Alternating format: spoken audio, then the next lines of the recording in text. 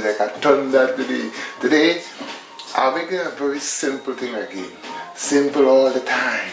You know, this year, I had seasoned this over 24 hours. It's a little fillet, but I'm going to stew that and I'm going to make a Johnny Bakes in the oven. Items, let's get it.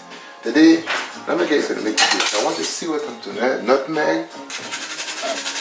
No, get into the mix quick, quick, quick. Picking nutmeg, you know?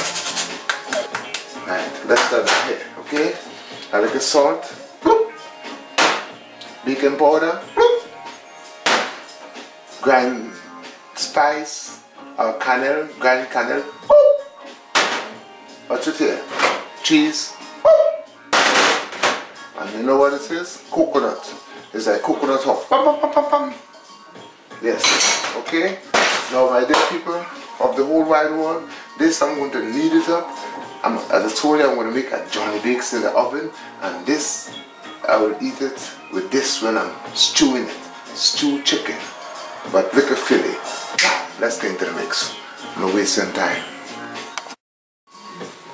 Yes, Greetings back again to just show you before I put that bakes in the oven I want to show you the second part right you know? I roll it with this you know? The roller the deadly roller and then sprinkle some more cheese on top it. So when this go in the oven that cheese is going to just you know what I mean? Just sink in and then pow that could be the chicken. So let me put that into the oven and then stew up the chicken, you know, and then, you know, soon time to lick it off. I love it.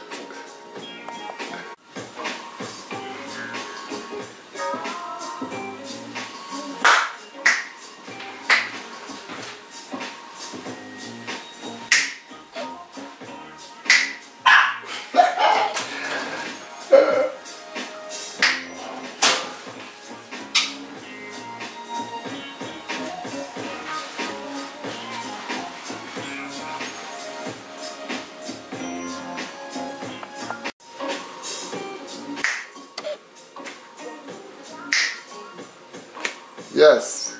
The, the bakes is finished you know and it's nice as you can see. It's a bake in the oven with some chicken fillet stew with some sweet pota pota potato you know. As I said sometimes you know I will just say I will put it and I didn't put it sometimes I say I ain't putting it and I put it. Wow that's it Yes, man. And me and my friend is here, he's coming out, so he's going to lick off a portion of that, you know what I mean? And just kick back. So my dear people, look at this, you know, try to make it. Subscribe to the improviser and tell me what you think. Leave your comments below with enough love. I'm out.